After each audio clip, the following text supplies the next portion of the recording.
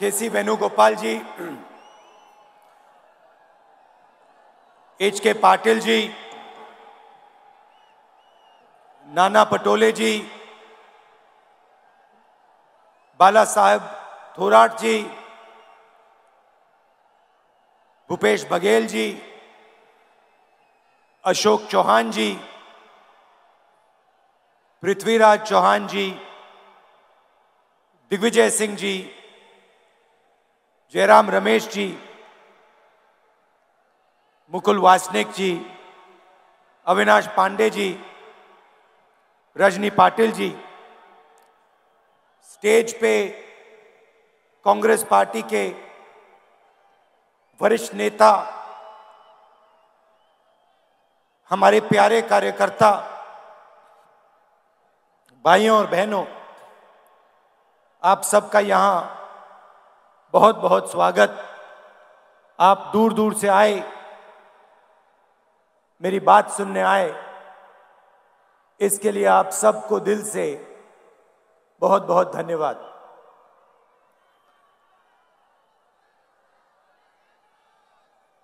संत गजानन महाराज जी की जय।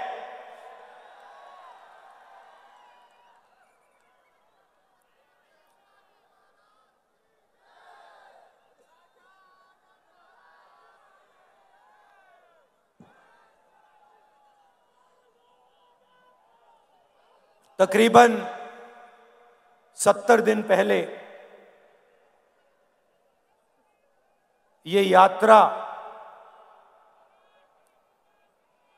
कन्याकुमारी से शुरू हुई।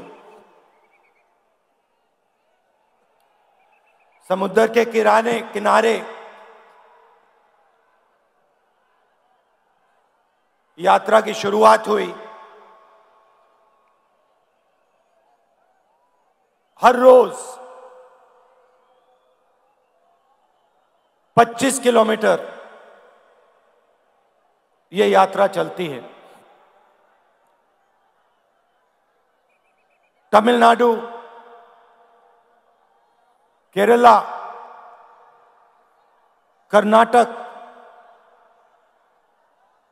तेलंगाना, आंध्रा और अब महाराष्ट्र।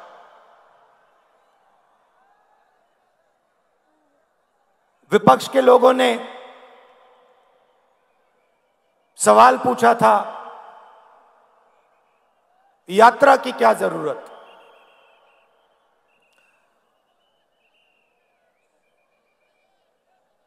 क्या फ़ायदा है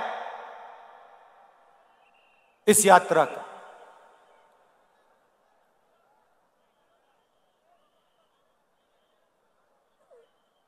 देश में देश के कोने कोने में। आज बीजेपी ने नफरत और हिंसा फैला दी डर फैला दिया है। जहाँ भी आप देखें, आपको डर, नफरत और हिंसा दिखेगी। इस डर के खिलाफ, नफरत और हिंसा के खिलाफ हमने यह यात्रा शुरू की है। और यात्रा का लक्ष्य आपको कुछ बताने का नहीं है। आपको कुछ समझाने का नहीं है। अपनी मन की बात रखने का नहीं है। यात्रा का लक्ष्य आपकी आवाज़ को सुनने का है। आपके दर्द को समझने का है।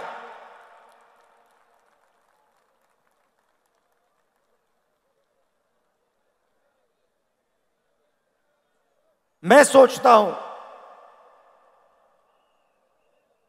कि डर से, नफरत से, हिंसा से बंटवारा होता है। प्यार से, जनता की आवाज़ को सुनने से, जनता से गले लगने से लोग जुड़ते हैं। नफरत से इस देश को कभी फ़ायदा नहीं होगा। मैंने डर की बात बोली। डर कहाँ? डर किस बात का? विपक्ष के लोग पूछेंगे डर किसका? कौन डरा हुआ है? अगर वो इन सड़कों पे चलते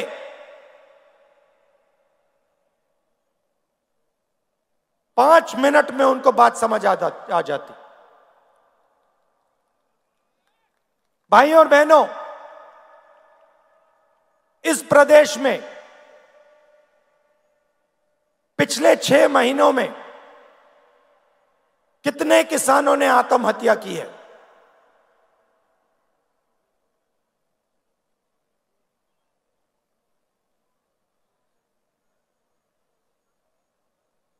क्यों की है? किस कारण की?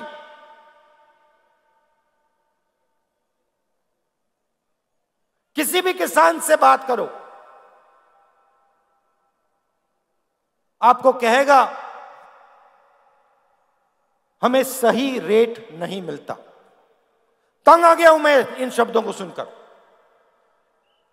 पहली बात बोलते हैं, मैं पूछता हूँ, कैसे वो कहते हैं, सही रेट नहीं मिलता। दूसरा सवाल पूछता हूँ, क्या हो रहा है? कहते हैं, हमने बीमा का पैसा भरा।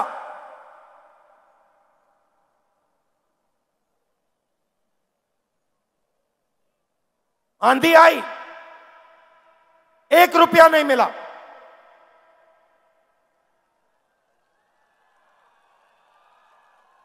और फिर सवाल पूछते हैं। राहुल जी, एक बात बताइए।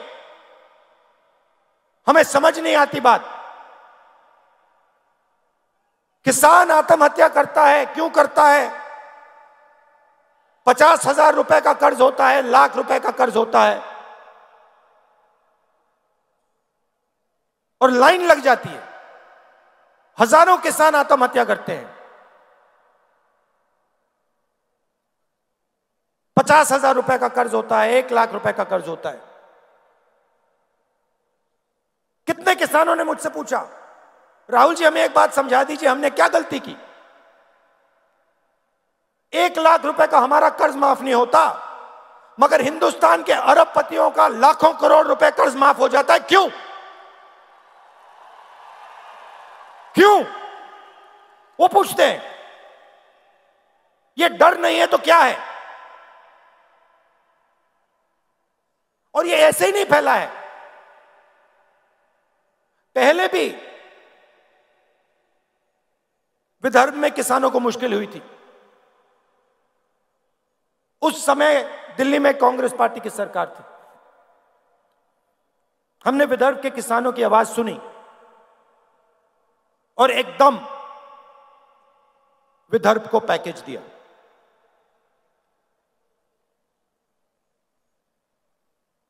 डर कैसे मिटता है? डर सुनने से मिटता है। डर गले मिलने से मिटता है। मैं आपको बता रहा हूँ, मैं आपको बता रहा हूँ, आज बता रहा हूँ स्टेज से। अगर महाराष्ट्र के चीफ मिनिस्टर अगर हिंदुस्तान के प्रधानमंत्री दिल खोलकर प्यार से महाराष्ट्र के किसान की आवाज़ सुन ले, यहाँ पे कोई आत्महत्या नहीं करेगा।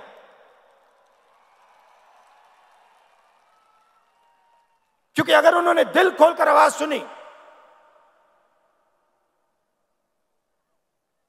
तो जो किसान सह रहा है जो उसके दिल में दर्द है, उसे वो समझ जाएँगे। और अगर उसे समझ जाएँगे तो कुछ ना कुछ मदद वो किसान की कर देंगे।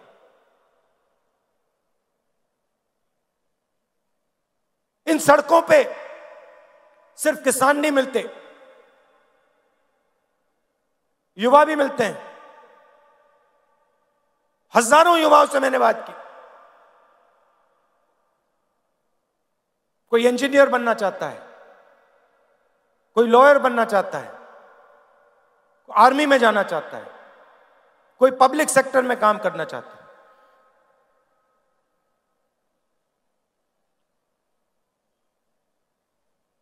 हर युवा के माता ने, पिता ने खून पसीने के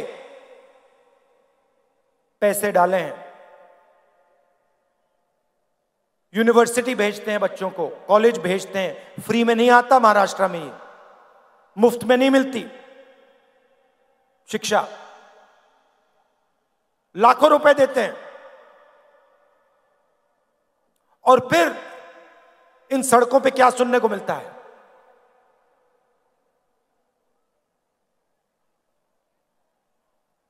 क्या पढ़े? इंजीनियरिंग कौन सी? मैकेनिकल क्या कर रहे हो? कौन सी कंपनी में काम कर रहे हो? मुँह नीचे करते हैं, कहते मजदूरी कर रहा हूँ। उबर की गाड़ी चला रहा हूँ।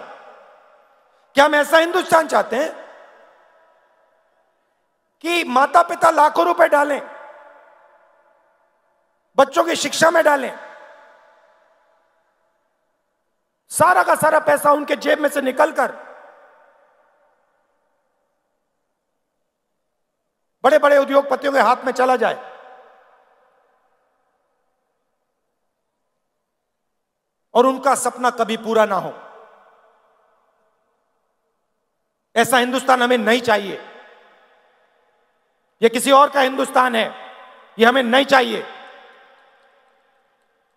दो तीन उद्योग, उद्योगपति देश का पूरा का पूरा धन उठा के ले जाएँ। और हमारे युवा अपना सपना कभी ना पूरा कर पाए, ऐसा नहीं चाहिए हमें हिंदुस्तान। और सिर्फ़ हम होने नहीं देंगे, छोड़ो।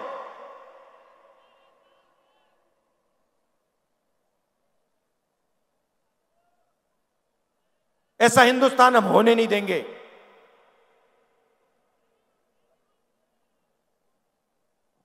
तो किसानों के दिल में डर, युवाओं के बीच के दिल में डर, उनके माता पिता के दिल में डर, और फिर उस डर को बीजेपी नफरत में बदलती है। बांटने का काम करती है। भाई को भाई से लड़ाती है।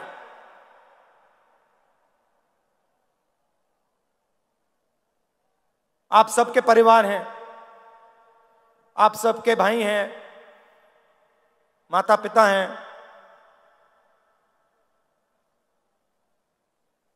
परिवार में नफरत होती है तो परिवार का फ़ायदा होता है या नुकसान?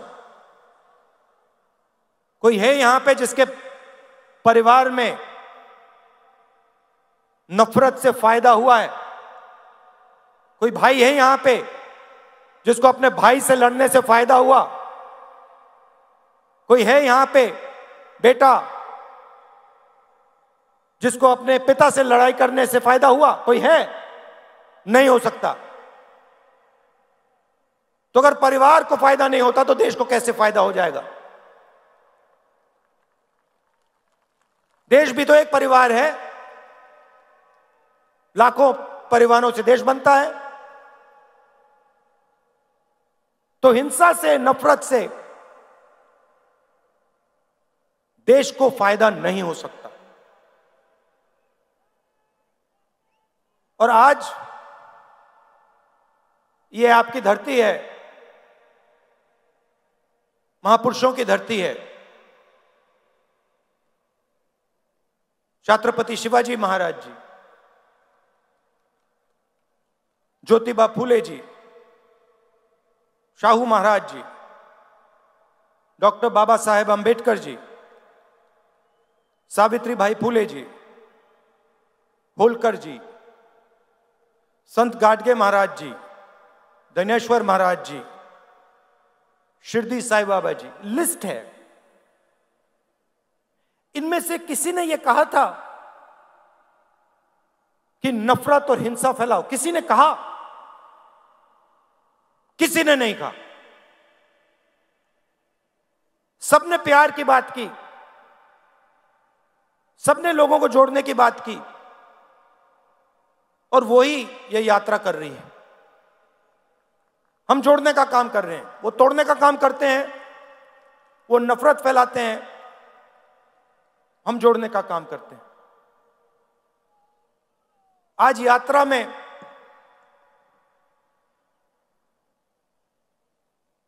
मैं बैठा था। यात्रा के बीच में हम चाय पीते हैं। मैं चाय पी रहा था और उधर से एक व्यक्ति आए। आर्मी में हुआ करते थे। मैंने उनको देखा। पहले बात समझ नहीं आई। मैंने कहा यह क्या है? और फिर जब वो पास आए, मैंने देखा, उनकी टांगे नहीं थी। एक हाथ नहीं था।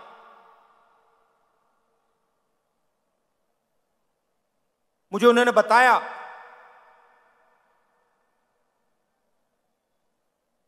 कि जब उनको चोट लगी, उनकी टांगे काट दी गई। तो तीन महीने के लिए अस्पताल में उन्होंने अपनी बीबी को बताया नहीं कि उनके पैर कट गए। महीनों वो अस्पताल में रहे। दोनों पैर कट गए। एक हाथ टूट गया। इंटेस्टाइन्स बाहर आ गई थी। छाती खुल गई थी। और मेरे साथ बैठे मुस्कुरा रहे थे। तो मैंने उनसे पूछा, मैंने पूछा, बताइए आपको इतनी बड़ी चोट लगी।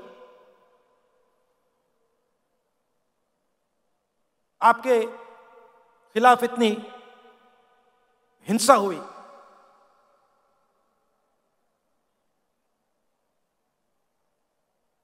आपको नफरत नहीं आती क्या? आपके दिल में नफरत है क्या? मुस्कुरा के कहते हैं, मुझे किसी से नफरत नहीं है।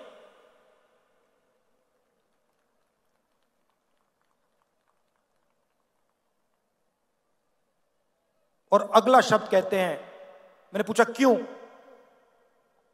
कहते, मेरे दिल में डर नहीं है। मैं नहीं डरता।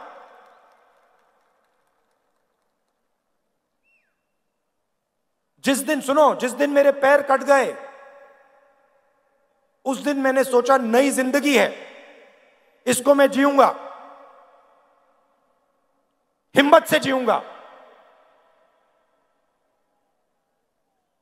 भाइयों और बहनों, जिसने भी अपनी ज़िंदगी में हिंसा सही है, जिसने भी हिंसा सही है, जिसको भी सच्ची चोट लगी है, उसके दिल में डर नहीं होता है और उसके दिल में नफरत नहीं होती है। ये सब लोग जो नफरत की बात करते हैं, इनको कभी चोट नहीं लगी है। इनके खिलाफ किसी ने हिंसा नहीं की है, इसलिए ये बात करते हैं।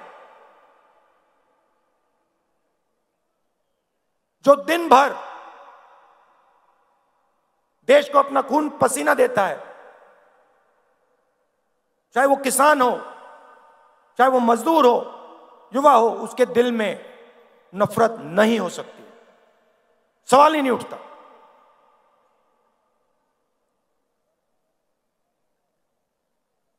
आज हम यहाँ आए। शिवाजी महाराज जी, जिन्होंने पूरी दुनिया को रास्ता दिखाया, उनकी ज़मीन है।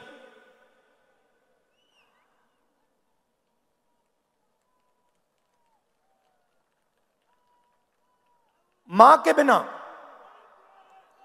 जो माँ होती है, वो बेटे को रास्ता दिखाती है।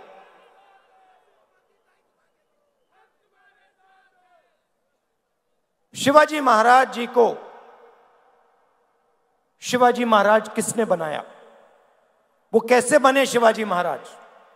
और वो शिवाजी महाराज थे क्या? हाँ वो एक व्यक्ति थे। ज़रूर। मगर वो सिर्फ़ एक व्यक्ति नहीं थे। उनमें और हम सब में क्या फ़र्क? था फ़र्क यह था कि वो महाराष्ट्र की आवाज़ थे। पूरी की पूरी जो आपके दिल में जो भावना थी, वो शिवाजी महाराज के अंदर थी। और उनको रास्ता दिखाने का काम किसने किया? उनकी माता जी ने किया। राष्ट्रमाता जिजाऊ जी ने किया। तो आज हम उनकी भी याद करते हैं। जो शिवाजी महाराज जी ने कहा और आपके सब महापुरुषों ने कहा, वही काम, ये यात्रा करने की कोशिश कर रही है। और आप इस बात को बहुत अच्छी तरह समझते हो, क्योंकि आपने इस यात्रा को अपनी पूरी की पूरी शक्ति दे दी। पूरा प्यार आपने दिया। आसान काम नहीं है। 3,500 किलोमीटर चलना आसान काम नहीं है। मगर आपने आसान बना दिया। अब देखिए नेताओं के चेहरे देखिए। थकान नहीं है किसी में। मेरा चेहरा देखिए कोई थकान नहीं है।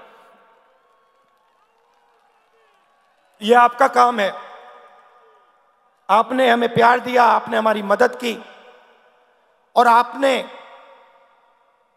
हमें बहुत कुछ सिखाया। महाराष्ट्र के किसानों ने, युवाओं ने, माताओं ने, आपने हमें बहुत कुछ सिखाया है और इसके लिए मैं आप सबका दिल से धन्यवाद करता हूँ। मैं ये अपनी पूरी ज़िंदगी नहीं भूलूँगा। कि महाराष्ट्र की जनता ने मुझे इतना प्यार दिया,